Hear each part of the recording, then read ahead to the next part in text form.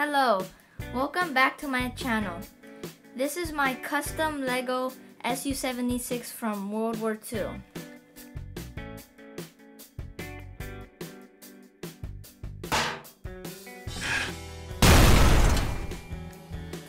So, I'm gonna be re reviewing the features on it.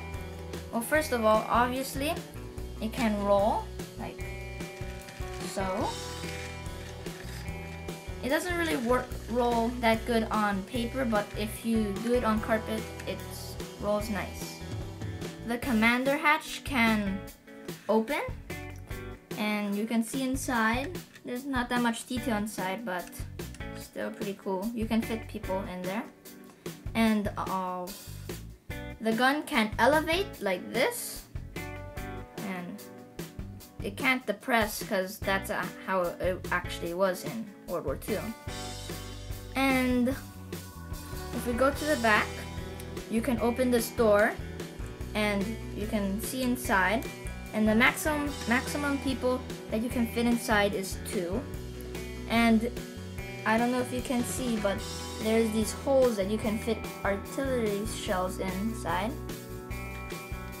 You can, if you want, you can hook tracks onto these bricks. And the last thing, the last feature this can do is this gun can recoil like this, like and I'll look from behind.